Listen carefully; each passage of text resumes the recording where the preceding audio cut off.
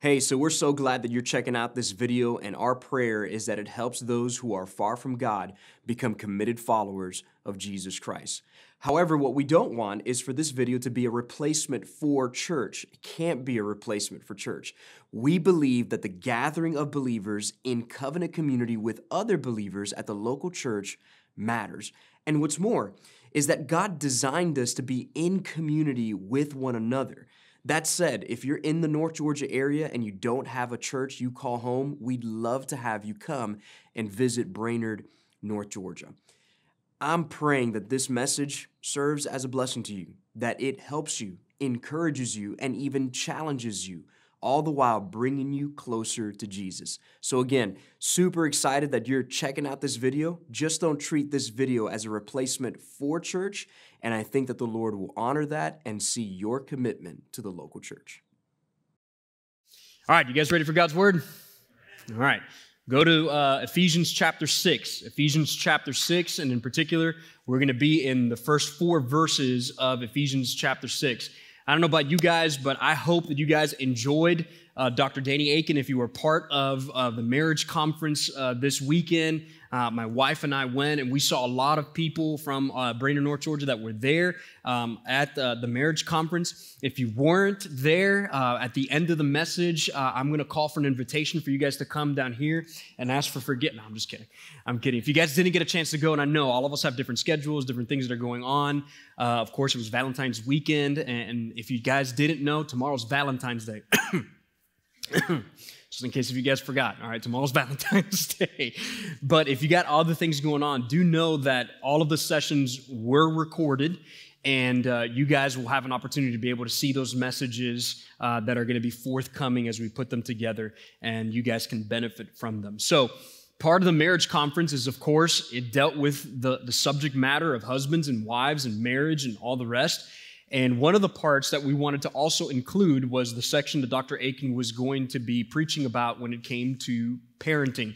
And so we wanted to round out the conference by also including that portion of the text um, that he was going to be preaching at at every one of our campuses. And so, whether at downtown or whether at Chattanooga or here, uh, we're covering Ephesians chapter 6 that deals largely with uh, parenting and children and all of that. So, that way, you guys can have a good, rounded uh, idea of the home and God's design and God's intention for it. All right. So that's what we'll do today. And then we'll pick right back up in Mark next week. And then we'll continue to plug away um, in that gospel. All right. But that being said, as I already mentioned, we're going to be talking about children and parenting. And let me uh, preface this as well with saying that uh, you might you might be thinking to yourself, well, you know, if there was a message for me to check out, this is one of those messages. I don't have kids. I'm, I'm not even married. Um, so I'm, I'm good, Paul. Thanks, thanks for giving me an opportunity to be able to, to just relax at church. I'll sip some more coffee and then we'll go from there. Uh, there are some things in here in this text that are incredibly, incredibly appropriate for all of us in this room. Um, because as I mentioned earlier, right, discipleship is part and parcel of every believer, not just a few believers, not just parents. And so, believe it or not, there are some things in here that uh, could spur you along to be able to say, you know what, D- discipleship matters, irrespective of what stage I am in life. For some of you, you're like, Paul, uh, I'm an empty nester, and thank God. Um, I, am I'm, I'm this I'm good. I'm cruising right now. And on top of that, like Dr. Akin said over over the weekend, right? Not only am I an empty nester, but before when I had kids, I was broke and didn't have anything. Now I'm an empty nester and I don't have kids and I have money. So I'm cruising right now. Like I'm good. I'm really gravy right now, right? So listen to me, even for you guys that perhaps you're empty nesters or praying for the day of empty nesting, uh, there's still portions of this that can be incredibly appropriate for you as you take the opportunity to be able to invest into the lives of other parents that desperately would love your wisdom on how you parented your children. And so just know that all of this um, is part and parcel for everyone, okay? So, with that said, we're gonna jump in, okay? Um, I'll never forget, I'll, I'll, remember distinctly, man, the day that uh, I found out uh, that we were having our first child. It was a really special day. Uh, if you know anything about my wife, she is the queen of surprises. She does a really good job of that, and she just loves being thoughtful, and she loves being able um, to be able to just surprise me in certain ways. And she's had a knack of doing this on birthdays. But I'll tell you, um, almost six years ago, this was quite possibly one of the best birthdays um, that I ever had. And it had everything to do with finding out uh, that we were having our first child. Now, I don't know, I don't know how Kate did this. It's incredible. But she found out two days before my birthday that she was pregnant. Now, I don't know about you, but I'm the kind of person that once I find something out that's exciting and that's good, I can't hold it in for more than five minutes. I have to tell somebody, right? So, how she did that for two, for 48 hours, I have no idea, okay? Especially when you know that you're expecting your first child. I mean, that's incredibly celebratory, right? And so she knew that it was my birthday two days before. You guys are probably picking up what I'm dropping already, but she decided to say, I'm going to surprise him on his birthday by letting him know that we're having our first child. Now, the cool thing is how she did it.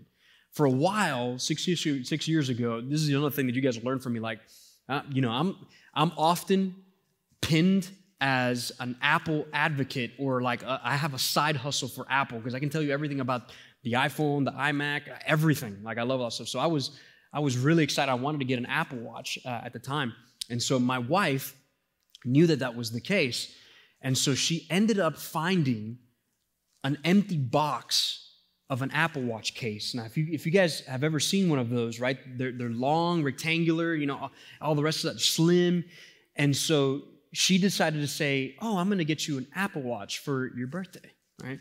And so she uh, put a camera up, she hid it so that I didn't know where it was.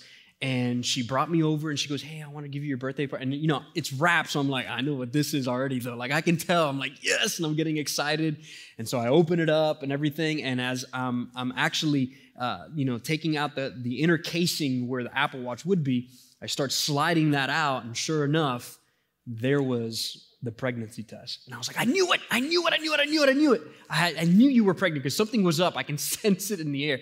And what's crazy is there is a long story that goes through all of that um, that I wish I had the time to tell. And it, it actually goes back to how the Lord kept me here at Brainerd. It's a wild story, but that's another sermon for another day. But needless to say, man, it was an awesome day. I was elated. We were excited. It was so cool. We had planned to go down to see my parents at the same time. So it was super providential how God worked all of that out. In fact, what's crazy is when we went down to tell my parents, they didn't know, and they ended up buying. In those days, you know where they would put like different names on the Coke bottles, on the two liters?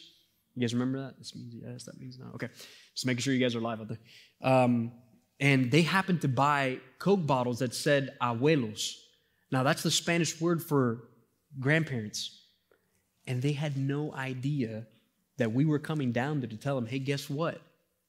My wife's pregnant. it's wild. It's the wildest thing. And so it was just kind of cool how it all shaked out. Now, on the one hand, maybe you remember that, man. You were elated, you were excited, all of that. And then, and then reality hit.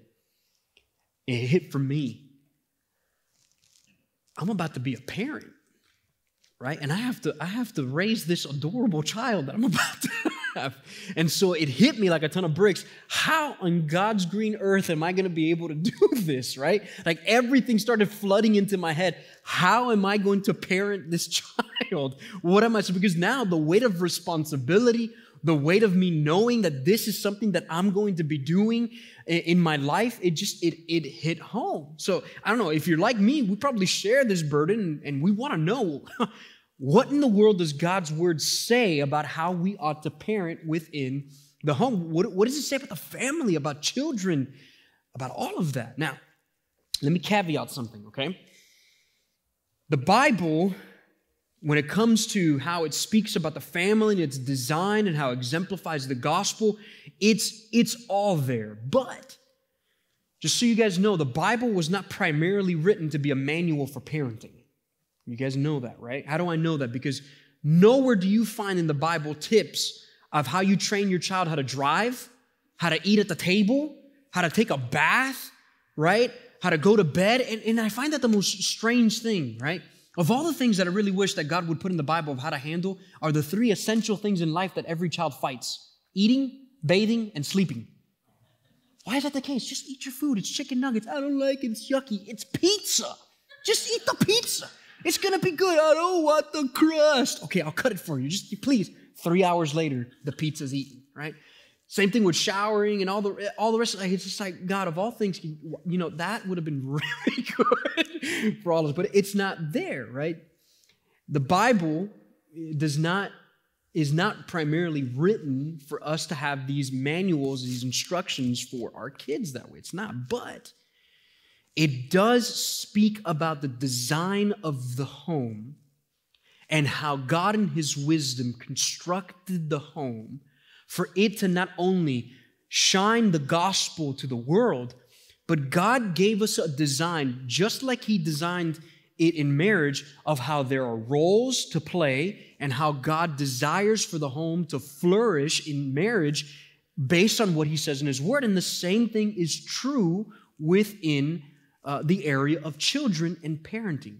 And what's interesting is, though what the Bible says here in this one section of Ephesians may be short, it is profound. Profound in what it has to say. There's so much wisdom and so much instruction that you can find in just four verses when it comes to how we ought to parent that, that Paul summarized it so well that it, it just causes us to say, this is worthy of our time and our attention to know what Paul is saying here. And in these four verses, I think we can find what Paul is attempting to make a point of. And here's what I think Paul's trying to do knowing that God designed the home and designed parenting and designed the family. Here's what I believe Paul desires for all of us to understand.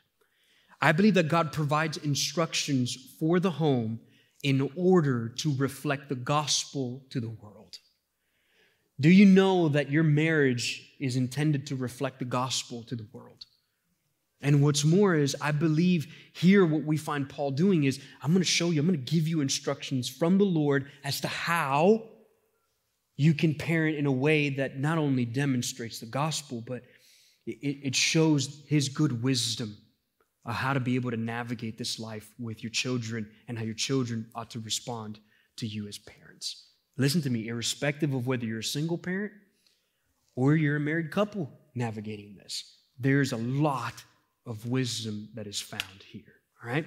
So, with that in mind, if you're able to this morning, would you stand in honor of reading of uh, God's word and let's read verses 1 uh, through 4 this morning as we dive into this particular text.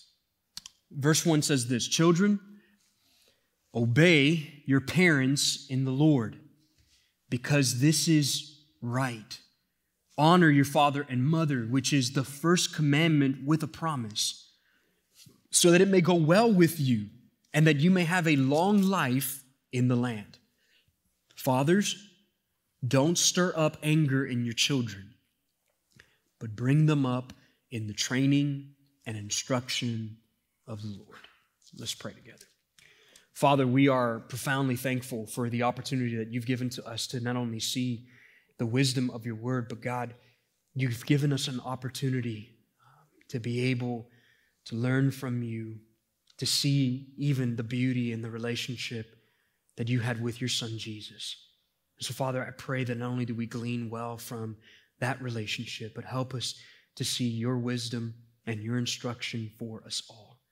Help us to be able to lovingly admonish, bring up, help our children, teach them much about you and about this life.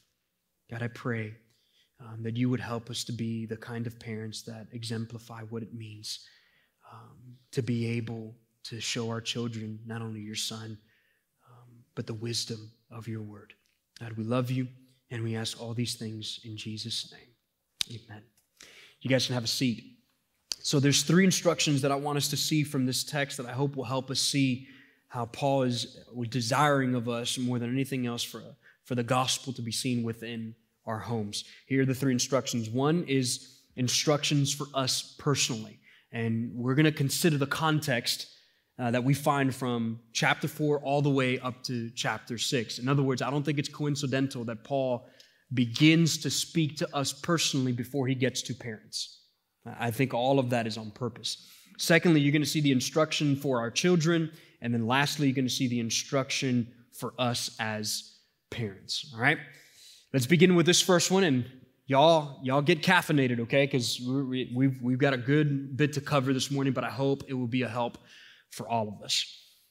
Paul here begins, I think, right before he gets to chapter 6, with giving all of us personally a, a great deal of instruction that I think is not coincidental to what he instructs us as parents to do. He begins with us because it's that important. In other words, Paul here brings to remembrance the church here at Ephesus the impact that the gospel has made within their lives. Okay? They heard the gospel, they were radically changed by the gospel, and here are people who previously did not know Jesus. Now they know Jesus, and now they're beginning to be changed by Jesus. And so he brings to mind to them a pattern of life that should be part and parcel of their everyday. In other words, he says, even in verse 17 of chapter 4, he says, Therefore I say this and testify in the Lord, you should no longer walk as Gentiles do in the futility of their thoughts. They are darkened in their understanding, excluded from the life of God because of the ignorance that is in them and because of the hardness of their hearts. They became callous and they gave themselves over to promiscuity and for practice of every kind of impurity with a desire for more and more and more. And then in verse 20, he says, But that's not how you came to know Christ. Something different happened to them. They were walking a certain way of life, but now he says, That's not who you are. Therefore, walk differently because of who you are in Christ. In fact, he even uses this illustration in chapter 4 of somebody taking off an old, useless garment for the sake of putting on a new one in order for them to use this new garment. Why? Because the other one is discarded because it's of no use, it's no good anymore. In fact, listen to what he says. he says in verse 21 Assuming you heard about him and were taught by him, as the truth is in Jesus, to take off your former way of life, the old self that is corrupted by deceitful desires, to be renewed in the spirit of your minds, and to put on the new self the one created according to God's likeness in righteousness, in purity of truth. In other words, he's saying to them, guys, you need to be living this new life. The gospel made this change, therefore live this way. In fact, he begins even chapter 5 by saying, I want you to imitate God. I want you to be like God. And then he goes on to say in verse 15, he says, I want you to pay careful attention then how you walk, not as unwise people, but as wise, right? And so, what's Paul doing? He's building up this case right before he even gets to instructions for husbands and wives that you know who the first benefactors of your Christ likeness, of this consistent way of living this new pattern of life should be. It should be your, your spouse. They should see a change within your life to such a degree that they're like, man, this individual walks, talks, and acts like Jesus. And so the family is going to be recipients of the change of the gospel within a person's life. And so again, I don't find it coincidental that Paul here is beginning to, to help them understand their identity and how that should make an impact within their home. And again, I don't find that coincidental that not only does it impact the, the, the marriage life, it should even impact children. Why do I say all of that? Because I, I really do believe that Paul's intent is for parents to set a godly example before their children. It begins with us. And Paul wastes no time saying, I want you to imitate God. I want you, I want your children to see the gospel at work in your heart and in your lives. That's what I want more than anything else. And, and that's very important for all of us, even though it's, it's elementary in its concept, it's profound in what it does. I learned very quickly that my kiddos, they watch, they listen, and they see everything that I'm doing. And you guys know this to be the case, right? It's funny. One day, my, my daughter, out of nowhere, started saying bro everywhere. And, and that's me. Like, I say bro all the time, right?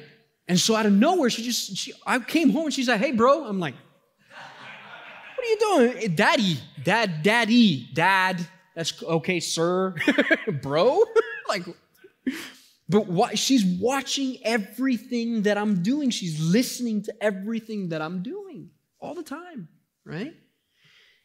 Listen, did you know that that our children watch how we not only do certain things in life, but they guys, they watch how we read our Bible, they watch how we pray and listen to how we pray, how we live at home, how we act at the store, how we treat our spouses, friends, co-workers, how we treat strangers, how we worship, how we make decisions. Do you, do you see why Paul has built this up from chapter 4? Is because we are the, the first line of the models of how they see Jesus at home. And so one of the one of the things that Paul's trying to build up is that guys, they they we, they are watching set a godly example. One of my more, most favorite times, um, every time we have an opportunity to do this, Faith Family Sunday. It's such an encouragement because our kids are in this room. And did you know that they, they are watching? They are watching you as mom and dad sing to Jesus. They are watching you open your Bible and look at it. Do you know the profound effect that that makes on a child's life? It's huge.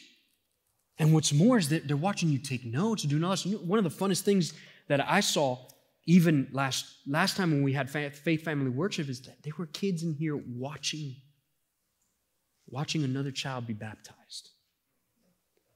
I'm okay if that spurred conversation at home. That's okay because they get a chance to hear from mom and dad why did Roman get baptized? Well, let me tell you why. These are the things that are important, guys. Paul here's saying, let your example and your words before your children remind you that they matter. They matter. I'll never forget, Paul Tripp um, is a uh, counselor. He was a former pastor. He's a conference speaker. And he does a great job, particularly in marriage conference. If you guys haven't heard Paul Tripp, I, I highly recommend uh, Paul David Tripp. And I like the guy already because not only does is his name Paul, but he married a Cuban. So he's just cool, in my opinion. Whatever. And needless to say, he, he began one of his marriage conferences um, by talking about how, uh, for him, uh, being timely and, and, and doing, uh, getting to places on time is important to him. And at the time, he was a pastor at a church, and um, they were trying to gather the kids together uh, for Sunday morning. And all of us know that Sunday morning uh, for parents, especially with young kiddos, uh, irrespective of their age, can sometimes be a challenge, right? And so we want to be spiritual when we come to church, but the truth is, we are kicking our kids into the van saying, Shut your mouth, we're gonna go worship Jesus, right? And here we go to church, right? Like that's how we're coming to church, it's gonna be a great day, right? And that's how we began going to church. And if you don't think that's true, come on now. It, it's happened at the Laso household, okay? So if it happened to the pastor, I'm sure it's happened to you guys.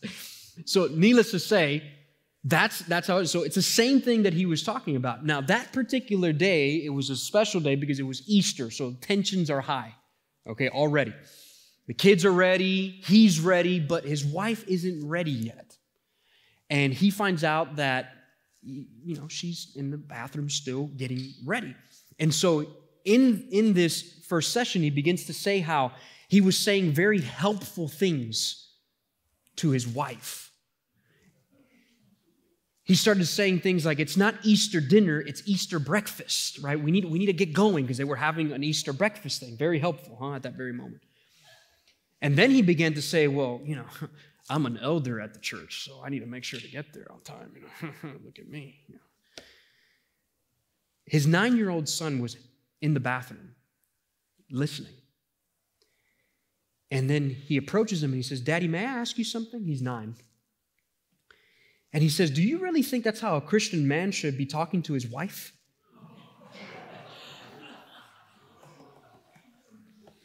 And then, trying to escape the conviction, he goes on to say, Well, what do you think? And then the boys looked at him straight in the face and said, It doesn't make any difference what I think. Daddy, what does God think? Yeah, I know. Tell me about it, right? And he's just sitting there like, Oh my gosh, embarrassed. And he just kind of walks right out. But I think that furthers what I believe Paul is trying to say here, right? Guys, our words and our actions matter. Why? Because they are watching. And at the very moment, his kid had an opportunity to be able to see how is dad going to respond to the truth of what God's word says and how I ought to treat my bride. He's going to see whether or not dad says, you know what, the final authority in our home is the word of God.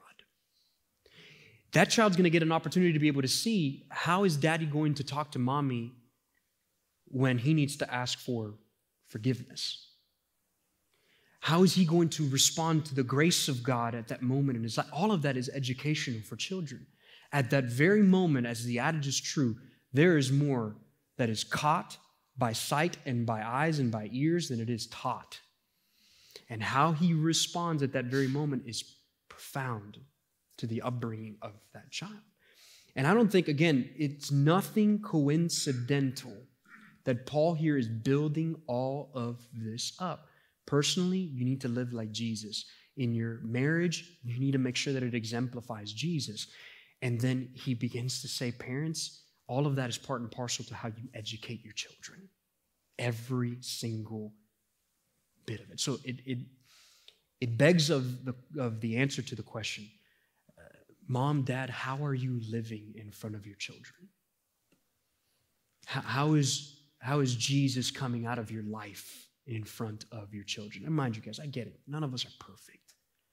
They get to see both sides the good, the bad, and the ugly of it all. And all of it, all of it is a great opportunity to be used as an opportunity to be able to shape them and help them understand. And we'll get to some of that here in a little bit. This is the part where you may say, well, you know what? Paul, you know, I, I, get all you're saying about parenting, all that, but I'm, I'm not a parent. I'm, a, I'm, maybe one day I want to be, or right now that's just not what the Lord has for my life. Uh, or even as guys, you know, you're you're at a place now, or older gentlemen that you're you're way past, you know, children phases. Guys, do you know that fatherlessness is a thing? Do you know that even in Catoosa County, I had someone once tell me that seven out of ten children grow up in fatherless homes, broken homes. You know, if you go to um, the African American home, 80%, 80% are without fathers. Hispanic homes are 60%, and um, you know, us as white American homes, we're not too far behind. It's 50%. Men, we have an opportunity to be able to exemplify Jesus, and you may never know the profound effect that you may have on a child as they watch your life. As Paul says, be imitators of God, be imitators of Jesus. Listen to me. Every man in this room should have the opportunity to allow another father to say, Hey, do you see Billy over there? I want you to be like, like Billy because Billy, Billy lives like Jesus. And if there was a man in this room that I want you to aspire to be like, be like Billy. Because man, Billy, Billy loves Jesus and he walks with Jesus. So listen to me. Though you may not have a child, you may never know the profound impact you may make just simply by the way you live your life. And it matters. Why? Just think of the fatherlessness. Boys, children, they crave, crave not only being loved, but led in a way that exemplifies Jesus. It, it's just there. So listen to me. All of us have an opportunity to be able to do this part personally that can impact the lives of other people. And what's more is, I'll tell you, those who are older in the room and have walked this life and have raised up children, I need you. I don't have this thing figured out. And I can glean from your wisdom to be able to learn how to parent in a way that's godly and good. So I'm telling you, in all stages of life, you have a profound opportunity to be able to impact others. So that's just the instruction for us personally. Let's move on to the instructions for our children. All right, let's move through this. Notice what Paul begins to say in verse 1 Children, obey your parents in the Lord because this is right. Honor your father and mother, which is the first commandment with a promise. So there's even motivation there for a child, right? So that it may go well with you and that you may have a long life in the land. So let's begin with the latter and we'll come back to the obedience part. Paul says, I want you to honor your parents. Now, the word honor there means to hold in high regard or revere or to respect, okay? And how do children honor their parents? Well, think about it, okay? How do we honor God? How do we revere God? How do we respect God, right? It's often through both our actions and our attitudes of how we view God.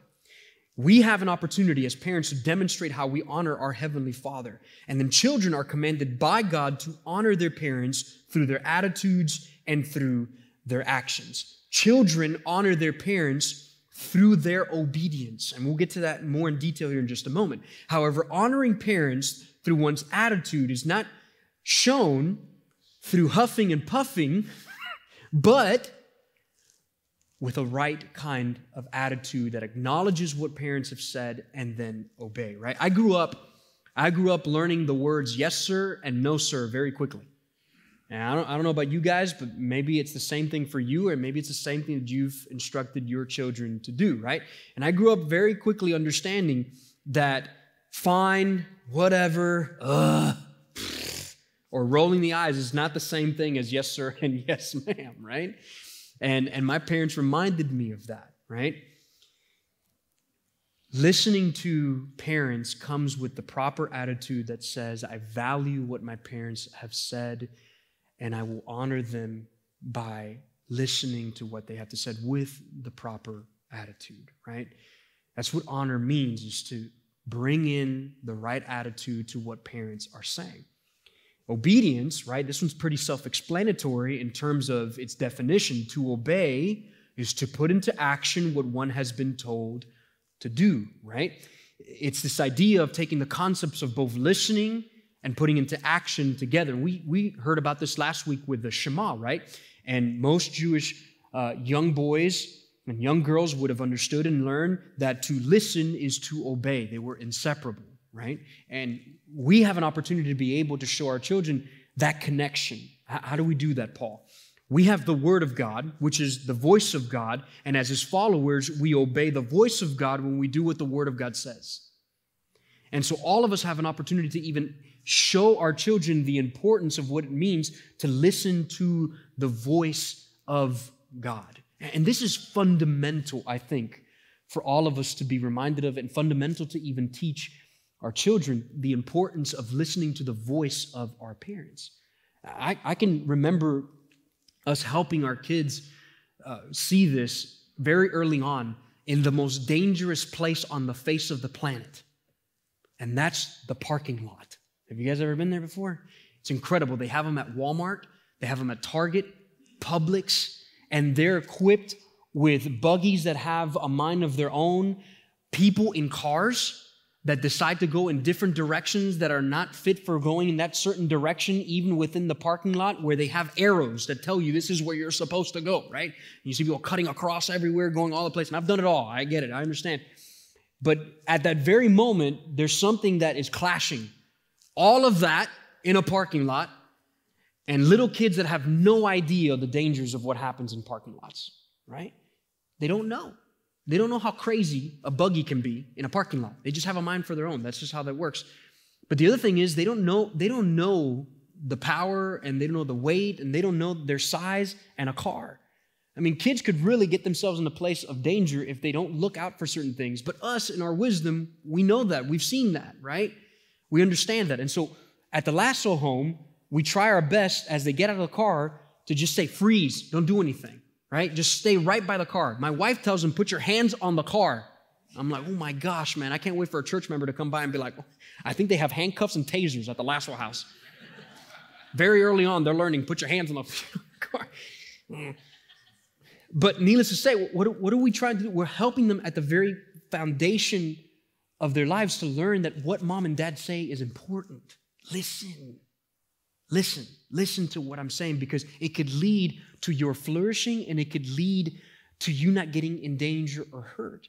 And it, and it starts there and it builds. And what are we doing? We, we are helping them understand that our voice, our words, they matter. Now, mind you, I get it. Nowhere in the Bible does it give us instructions of how to take care of our kids in the parking lot. But God has given us the responsibility to help them understand the dangers that are out there and to help them to say, hey, stop, no, don't, be careful, you got to stay here. And they begin to learn how significant and how important that is. And mind you, if they learn it there, that begins to transcend in every other portion of their life. They will, throughout their life, learn the importance of what it means to listen to their parents' voices when they get friends, when they interact with their teachers, when they interact in society, when they work one day, right? All of those things are interconnected, right? Obedience to a parent's voice is foundational, and if they learn the importance of obeying the voice of their parents, they will see the wisdom and the absolute need to obey the voice of their heavenly Father. Super important. Okay, do you see how it stacks together? This is extra information, but I'll just throw it out there for, for you parents that delayed obedience is disobedience. You guys take that for where it needs to go, but that's just extra information. Now, here's the, the, the, cool thing about what I love about what Paul says. Paul here gives a qualifier. Your children should honor you, your children should obey you. But notice what he says in verse 1. He says, Children, obey your parents. And he says, In the Lord. Now, that's super significant because what Paul is helping parents understand there is that we ought to shape our children and ask them to obey in a certain way. In other words, what we ask of our children to do should be morally right. It ought to be biblical. In other words, we're not demanding of our children to disobey God or do something unethical, but calling them to do what is right, what is true, what is wholesome, what is godly. So Paul here puts a good caveat, all right? Now, the truth is, because we, we as parents are asking our kiddos and those adorable children that they are, sweet and lovable to obey, when we know full well, and if we didn't believe it before, that the devil is real, well, that's because we haven't had kids yet, or you haven't had kids yet, right? We know for a fact that our kids will fail to obey us. That's part of it. But I believe even in those moments, those are God given opportunities to teach our kiddos the reality of sin, of brokenness, and of the gospel. And so, hear me, use the occasion of their disobedience to teach them about the gospel. Show them their absolute need to ultimately listen to a voice that is greater than them so that they will have an opportunity to be able to say, okay, I get why at times I don't obey my mom and my dad. It's because I'm, I'm broken and I need Jesus. Now, if you're a child or a teenager, or if your kids, when they begin to ask you the infamous question, why, why, why, why, right? Now, I've been there already. Why should I obey you? Well, that's a great question. I'm glad you asked. Paul here gives two motivations. One of them is crystal clear it's because it's right. Listen to me, what clarity that we can find, especially in a time and an age where defining what is right and what is wrong is as ambiguous as it can be. But Paul says here, do you know what one thing is right? Obeying and honoring your parents. That is right. What's more is that he gives a little bit of motivation. There's a promise attached to this. And so Paul here borrows a concept from the Old Testament of a general principle is that oftentimes, if you listen to the wisdom of your parents, if you listen to the truth of what your parents are saying that's coupled with the Word of God, your life will flourish. I can't tell you how many times I heard what my parent, what my mom and my dad said when I was a teenager, and I'm like, man, they don't know a thing. I don't know why in the world I'm listening to my parents, man. They are as dumb as rocks. And off I would go as a teenager. Only to find out when I'm in college, I'm like, man, my parents are the smartest people on the face of the planet. I need to talk to them more often. Dad, do you know about this? Can you help me about finances? Dad, can you help me out about it? It's like all of a sudden, it's like, wow, my mom and my dad, they're a gift from God. like, and I kept going back and back and back. And I began to realize very quickly the errors and you know how I just neglected the time over and over and over again how wise my parents were and how much they went through life and what they were trying to pour into me is wisdom. And so what happens as a general principle, this isn't always intended to be something that will always be the case, but as a general principle, if you listen to the wisdom of your parents, you will lead a good and flourishing life. Why? Because they're there to love you, to help you avoid things that you don't need to have in your life right? And so here Paul is saying, you want some motivation? You want to teach your kids some motivation? Not only is it right, but God even says you will flourish. You will flourish because of how you obey and honor your parents. So that's the instruction for kids. Let's move on to the instruction for us as parents. Now, full blown disclosure, and I'm, I'm, I'm, sorry in advance. Please don't email me, but you might get um, some toes stepped on, and I apologize. I got my toes stepped on Friday and Saturday, so I figured I'd share the burden with all of you guys. Okay? Here's what Paul says to us as parents. He begins with fathers, but don't let that escape you that this is for both fathers and mothers. And then do remember that this may include the fact that it may just be mom because daddy's not there. Or it may be just dad because mom's not there. But in an ideal situation, this is a team effort that Paul's saying, hey, this is for parents. But he begins with the father because I believe the fathers are not only the heads of their homes, but what that means fundamentally is guys as husbands, and guys, as fathers, God has given us the responsibility and the stewardship of caring not only for our brides, but our home. We are the ones who set the tone spiritually and the direction for our homes. It should never be an ambiguous thing. We are the ones who have been given that responsibility of headship to make sure that one person doesn't feel responsible to make everything work. We do it together. So, it says, Fathers, don't stir up anger in your children, but bring them up in the training and instruction of the Lord. Here, as I said, he begins with fathers, and I, be- I believe here what he's trying to do is help them understand how important it is for fathers to set the tone of being loving and kind and fair, and also setting the spiritual temperature of the home. Now, he says that under the backdrop that back then, at that time, fathers were often very cruel and intimidating in all the bad senses within the home. And so Paul's saying, listen, as Jesus followers, you should be able to set the tone where you are seen as, yes, fine, a firm and convictional, godly father, but don't forget to be loving, kind, and fair to your kids. And so here he's setting the spiritual tone, and he uses uh, not only the spiritual tone, but the, the tone as well for how to approach parenting your children. And so he uses this word called provoke, which also means to stir up something, right? Or to prod in a particular way. And it says, I don't want you to stir your children up in anger or even discouragement.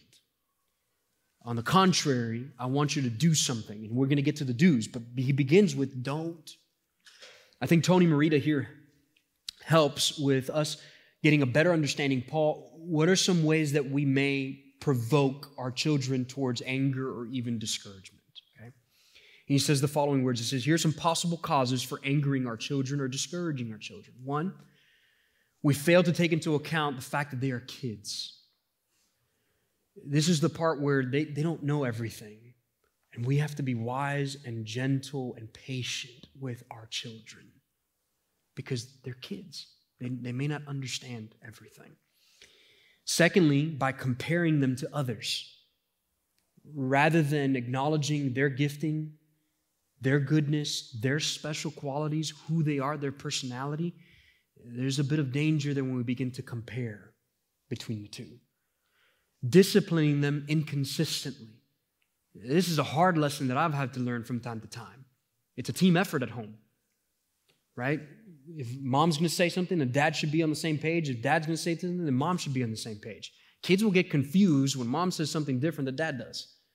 And it just makes it hard. And so if they're confused, it's sometimes not their fault. It's just because maybe we're inconsistent. I'm sorry. I know that that's hard sometimes, but that happens. And so that may provoke them to both anger or even discouragement. They just don't understand.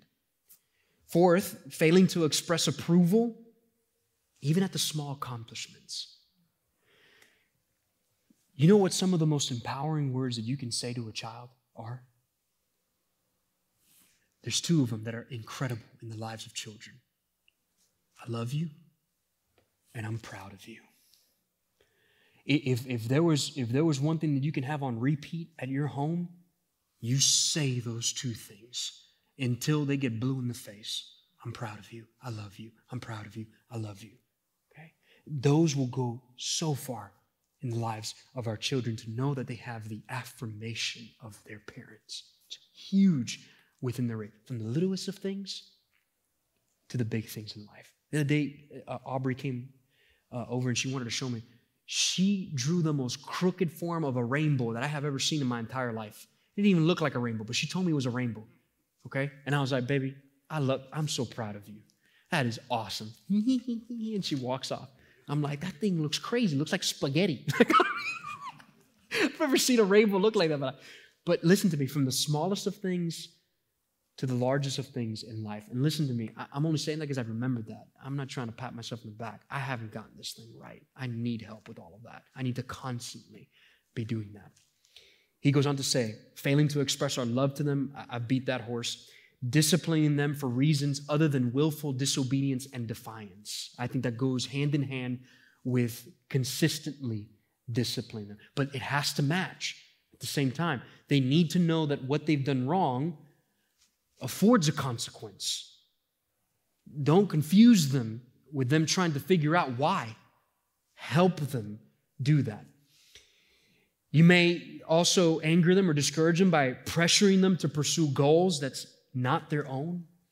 We got to be careful how much we try to live vicariously through our children. We need to acknowledge that they may have passions that are not yours, and that's okay. And then fan the flame for the things that they love. Lastly, is withdrawing love from them or overprotecting them. Um, I'll leave that one alone, but you guys are smart enough to understand how to do that. Okay? That's what we shouldn't do. Here's what we should do. Paul says, I want you to do three, three things. I want you to bring them up. In other words, I want you to take responsibility for them, and I want you to make sure that you bring them up. How, Paul? In discipline and in discipleship. For one, there are moments and times where we have to be able to teach our kids the difference between what is right and what is wrong. That is, that is huge. They need to know the difference between what is right and what's wrong. Because Lord help us. We all know that society ain't gonna do it. It's not going to happen. And they're, and they're going to leave just even more confused figuring out what is right and what is wrong. If there was ever, ever a time for us to be able to acknowledge the worth of God's word, it's today when we can give them a resounding understanding that God's word says, Thus saith the Lord. And there's no ambiguity for it. There's clarity because there's absolute truth. My goodness, help our children know and distinguish the difference between what is right and what is wrong. And then the other side of it is it's not just that, correcting, disciplining in a way that shows them those differences, but guys, let's give them the Bible. Let's show them the story of God. Let's give them Jesus. Help your children know what the Bible has to say. And there's two ways of doing this there's the informal way of doing it, and then there's the formal way of being able to do it. Listen, if you want curriculums, if you want ways to catechize your kids, I can find you every nook and canny of resource. For goodness sake, we even somebody have that works for Awana that comes to our church. We can show all you the, the, the ways of getting, doing it formally. It's there. Not only that, the church, I think, comes alongside of parents and, and we do this together. That's, that's so huge. But do you know, the, do you know how, how powerful and how impactful even the informal things that we do can shape our children? Uh, it is huge. In fact, we already know how to do all of this informal way of discipling our kids. You know that, right? Like you guys already know, I'm a coffee snob. I mean, do, do, you, do, you, do, you, do you wonder whether or not my girls can probably make coffee now? Oh, they know. and one day I'm gonna be like, girls, can you make daddy some coffee? but, but needless to say, like my girls have come up, and, and why, why does it happen? Is that because somehow or another I like pre-program and say, okay, I'm gonna I'm gonna set the tone. I'm gonna bring Isabella. I'm gonna bring Aubrey, and we're gonna have coffee making time. No, I love it. It's a passion of mine, and so immediately they're going to see Daddy doing it all the time, talking about it all the time, and working on it. And so what's gonna happen? They're gonna come alongside, Daddy. What are you doing? Making coffee. What's that? Oh, that's the grinder. And they push it, and they do all this stuff, right? And so they learn. Listen, we do this already with sports. We do this already with the things that we are passionate about and that we love. And we inadvertently, informally already teach our children the things that we love. In other words, guys, the things that we count important and are passionate about, we give priority to. And we will make sure that we do them, right? And it happens, and it happens so quickly. I even did yesterday. I was running, and there was a guy with an Alabama t shirt on. And if you know any Alabama fan, There's something that you do. It's like hello. They get offended if you don't do it, especially if they know you're another Alabama fan. You just roll. By, you just go by and you say roll tide, and what happens? Almost immediately, what do they say back? Roll tide, right? It's like saying hi to people. That's what it is. And so that happened. That's ingrained, right? Same thing. Listen, there are moments and times that we can show our children the truths of God's word. Think about this. This is, this is as, as old as the Shema. Listen to what Deuteronomy chapter 6 and verse 5 says. You don't have to turn to it, but listen, listen very quickly to what Deuteronomy says. Do you know how parents used to teach their children the word of God? Listen to this. This is in verse 4. Listen, Israel, the Lord our God, the Lord is one. The Lord love the Lord your God with all of your heart, with all of your soul, with all of your strength. These words that I am giving to you today are to be in your heart. And listen to this. Listen to this. Repeat them to your children. Talk about them when you sit in your house and when you walk along the road, when you lie down and when you get up. Bind them as a sign on your hand and let them be a symbol on your forehead. Write them on the doorposts of your house and on your city gates. In other words, every portion of your life is a teaching opportunity for your children. Mommy, why do you treat the, the grocery store clerk with kindness? Mommy, why, why do you stop to help people the way that you do? Why do, why do we do thoughtful things for other people? Why, why do we do this? Why? And you have an occasion and an opportunity to be able to teach them so much. Let the passion of the Word of God become the priority that you teach within your home. And that gives you a great opportunity to be able to say, hey, here's how we can do this. I love even what Proverbs does. Guys, this is so neat, even for, for us as parents. You know that Proverbs 1 through 9 is a dad sitting down and pulling, pulling a seat up with the son and saying, hey, come here, I, I want to I wanna teach you about something. I want, I, I want to show you about life. And in those conversations, as he's sitting down with his boy, he's showing them about the importance about the fear of the Lord, about folly, about evil, about integrity, about virtue, about generosity, about the dangers of selfishness, pride, seduction, success, ruin, hard work, the dangers of laziness, and even the benefits of discipline. All as they're living life together and showing them, hey, look, I want you to look out for this. I want you to pay attention to that. This is why this is important. Every aspect of life is an opportunity to teach them the importance of what God God's word says about this, about that, about anything. Guys, take the time to invest in your home the truths of God's word. Read the Bible with your children. Take portions of it. Take the time to pray with your kiddos. Do all of those things, and it will mean the world to them. Not only do our life and our words matter, guys, as I mentioned, but how we invest into our home and take opportunity to take initiative in doing that matters greatly. And one of the other things that I wanted to, mention is not only do you teach them the Word of God and instructions and all those things, but guys, uh, mom, dad, you know one of the, the, the single greatest things that we can ever do to our kids is to point them to the perfect parent, to point them to the perfect child. Do you know that God gave us an incredible visual example through Jesus of how he had a relationship with his Father? And in that, there's great empathy and great encouragement because not only can we see how God relates to his Son, Jesus, but in the middle of all, we have a template for how we can learn how to engage. And what's more is that in Jesus, we also recognize that we needed him to be the perfect child. We know, as the Bible says, that we were the children of disobedience, not the children of obedience. And in knowing who we are, it shows us our need to lean upon Jesus to not only learn what it means to be a child of God, but we lean all the more knowing that we're imperfect to know what it means to be able to see the relationship between the Father and the Son and how we can implement those things. So, you know what that means? Parent, when you're struggling to figure out how in the world to parent your child, you look to Jesus. You look to Him and you see the relationship between Him and the Father, and you say, I have much to learn from Jesus in that moment. And you know what other piece of wisdom that God gives to all of us? I thank God for the church. I thank God that I don't have to do this on my own. You know how much is caught by parents in life groups when you parent your children? You know how much you learn how you're not crazy as a parent when you're like, oh my gosh, the kid's the same as mine. Or they do the same thing. This is so encouraging. I thought I was on an island to myself. I thought I was the only crazy parent on planet Earth. And then you look over to the right and to the left, and you look to the church and your friends around you, and you realize, oh, they're trying to figure it out too. And listen, those are two incredible pieces of wisdom that God gives us the relationship between Him and His Son Jesus and the church. Benefit from those two greatly.